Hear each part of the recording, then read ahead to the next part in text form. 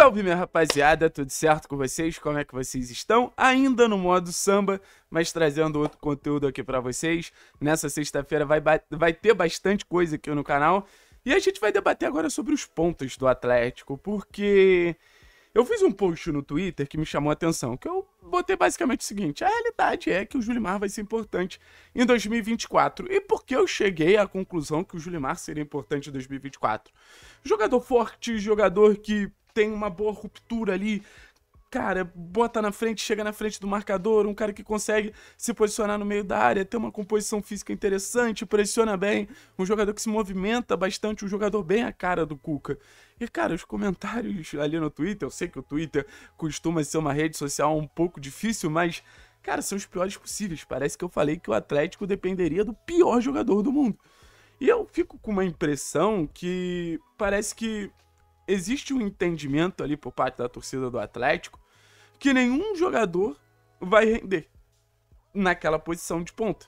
Que o Canóbio não serve mais, que o Coelho não serve mais. Eu até entendo os desgastes que esses dois jogadores viveram nas últimas temporadas e tudo bem.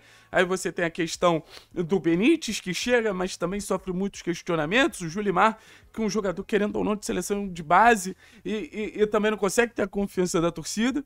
Eu fico pensando, a torcida ela vem sendo muito pessimista ou a torcida ela vem constatando o óbvio? Porque na temporada passada, por exemplo, se você for pegar o número de chances criadas por Canobi Coelho, não foi tão abaixo.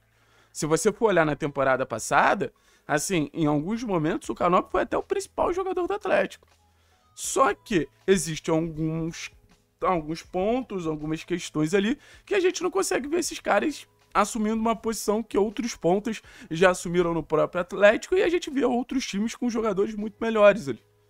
Por exemplo, o Inter com o Wanderson, a gente teve o Fluminense com o John Arias, a gente vê, enfim, jogadores ali que, que na teoria entregam muito mais. Às vezes nem tanto, porque quando a gente vai ver os números, os jogadores do Atlético também entregam bastante, só que a gente tá naquele atrito diário ali. Mas eu, eu, eu criei uma dinâmica que eu quero mostrar para vocês. Acho que, acho que vai ser interessante pra gente entender qual é o melhor ponto do Atlético e se esse ponto ele realmente não tem nada para entregar. Porque às vezes pode não ser um ponta protagonista, pode não ser um ponta que a gente olha e a gente fala, pô, tá no nível dos melhores que passaram por aqui. Mas é um ponto que tem algumas questões interessantes. E a dinâmica é basicamente essa aqui, rapaziada. Eu peguei os quatro principais pontos do Atlético, Canóbio, Coelho, Julimar e Benítez, e separei algumas categorias, meio escola de carnaval. Finalização, criatividade, força, velocidade, habilidade, parte tática e protagonismo. E eu vou debater com vocês quais desses pontos preenchem mais casinhas, quais desses pontos preenchem mais requisitos pensando no, no, no, que podem ajudar o Atlético, no que podem entregar o Atlético. Então vamos junto tendo essa conversa aqui que eu acho que vai ser muito importante a gente entender. Eu quero começar, vamos começar por finalização, né? Eu tenho certeza que o torcedor do Atlético já, já eliminou Canobi e Coelho desse item. E talvez o Julimar também, no último jogo, perdeu alguns gols, apesar de já ter feito alguns nessa temporada também, mas assim, fica um sentimento que a gente também não tem no Julimar um grande finalizador. Pelo que fez, principalmente no Guarani, eu acho que essa posição ela, ela mostra que o Benítez é o principal nome nesse item, cara. Sendo bem sincero com vocês, assim. Até nos jogos que, que fez os últimos jogos que ele acabou fazendo e acabou indo bem, tanto contra a Londrina quanto São Joséense, o Benítez mostrou boa capacidade de finalização. A finalização dele no gol contra o Londrina é um absurdo. E contra o, o, o São Joséense também levou algum perigo. Nesse item, eu não sei se a gente bota o melhor. Eu acho que nesse item de finalização talvez a gente bote o menos pior. Mas beleza, Benítez ali. Criatividade. É importante esse aqui, porque o que é criatividade? É basicamente ter ferramentas para aproximar o Atlético do gol. Eu acho que esse a gente fica entre Canobi e Coelho. Porque são jogadores que têm carreiras mais sólidas, já fizeram mais pelo Atlético, e são jogadores que têm números muito consistentes nesse quesito no Campeonato Brasileiro, por exemplo. O Canobi foi um dos poucos pontas no último brasileiro que ultrapassou a marca de 100 ações que geraram finalizações sem chances criadas. Assim, um número bem expressivo. O Coelho no retorno jogando como ala chegou a ser o jogador que mais criou chances no retorno do Campeonato Brasileiro em algum momento ali. Com mais de 10 rodadas de retorno. Então, assim, acho que o Julimar e Benítez ainda precisam correr um pouco atrás nesse sentido. E acho que pelos números do Canóbio e, e por ter sido o nosso último é, líder de assistência na temporada, acho que, que, que, ele ganha nesse sentido. Acho que é inegável como o Canóbio, de alguma forma, ele consegue botar os companheiros ali numa posição de finalização. Com seu jogo coletivo, com seu jogo muito forte nesse sentido. Beleza? Força. Aí eu acho que esse já fica entre Canóbio e Julimar, cara. Porque o Canóbio é um jogador muito forte, o Canóbio é um jogador que, que, que tá sempre se movimentando, que tá sempre criando cenários ali, pensando em estar tá ajudando a equipe, em estar tá criando cenários de, de movimentação, de pressão e tudo mais. Mas o Julimar é um touro também, cara. O Julimar é muito, muito, muito, muito forte. Eu fico entre os dois, mas acho que eu. Puta, eu ainda vou de Julimar. Talvez o fator que eu bote o Julimar aqui seja a altura, né? Porque o Canobi é um jogador que não é tão alto. Mas eu sinto o Julimar um jogador mais alto, mais forte e velocidade. Cara, é interessante isso aqui. Porque velocidade, talvez eu bote o Coelho, assim. Ou o Benítez.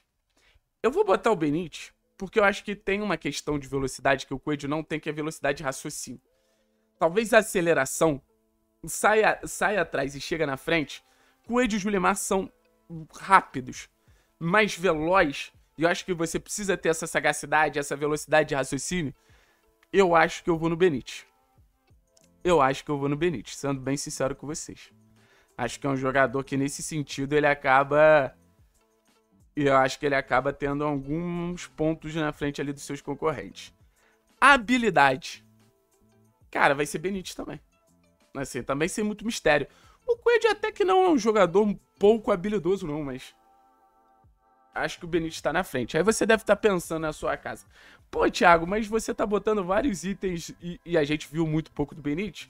Eu me sinto à vontade de botar o Benítez porque, cara, de alguma maneira acaba sendo um jogador que a gente viu um pouco e a gente se baseia nesse ter visto um pouco para avaliar a real contribuição, as reais qualidades aqui do Benítez.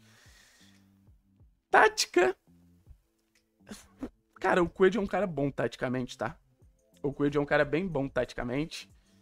Acho que o próprio Jurimar, bom taticamente. O Benítez, bom taticamente. Porque eu acho que quando a gente entra na questão tática, vem muita questão do, da, do Canob ser muito voluntarioso, recompor, ajudar na fase defensiva, ajudar nas transições. E talvez faça ele ganhar nesse sentido.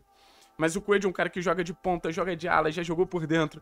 O Julimar já jogou como centroavante, já jogou como, como ponta. O, o, Benítez já jogou por dentro como meia, já jogou por fora. Então todos ali têm uma versatilidade legal, sabe? Todos ali têm algum ponto interessante. Mas eu acho que até por essa participação maior do jogo nas transições, no, no, no jogo sem bola, na hora de provocar o erro do adversário, eu acho que o Canobi ele ganha esse item aqui. E talvez seja o grande ponto que faça o Canobi, por exemplo, ser convocado para a seleção uruguaia. E protagonismo. Protagonismo eu acho que é um item que fala muito sobre comportamentos. E qual jogador eu vi com mais esse perfil de protagonismo? Qual jogador eu vi com mais essa capacidade de, de, de pegar uma partida e desequilibrar um jogo? Cara, eu vou ser bem sincero com vocês.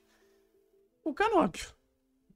E assim, não que seja um mundo ideal, mas a gente já viu grandes jogos, o Canop crescendo e tendo um comportamento muito legal ali. Então, dentro de, de, dessa, dessa brincadeira que a gente faz, fica três itens para o Canóbio, três itens para o Benite, um item para o Julimar e hoje zero itens para o Coelho. O que mostra que talvez o Canóbio ainda permaneça como esse titular absoluto da ponta. Mostra como o Canóbio, o, o Canóbio ainda é dono da posição ali mas você tem um Benítez que, que, que deixa esse gostinho de quero mais, né? Você tem um Benítez que deixa esse gostinho de preciso estar em campo para mostrar mais, para convencer mais. É basicamente isso. Então também é um sentimento ali que, que o Romeu Benítez ele, ele deixa de, pô, é, é, é um jogador com, com capacidade de nos ajudar. nenhum ponta do Atlético presta? Não, não é questão disso. É que talvez a gente espere mais desses jogadores e talvez esses jogadores errem muito, mas assim, os pontos do Atlético acho que dá para dizer que prestam sim. Valeu, pessoal? Tamo junto, é nóis. Forte abraço, espero que tenham gostado do vídeo. Qualquer discordância, pode deixar aqui. Valeu, valeu, valeu.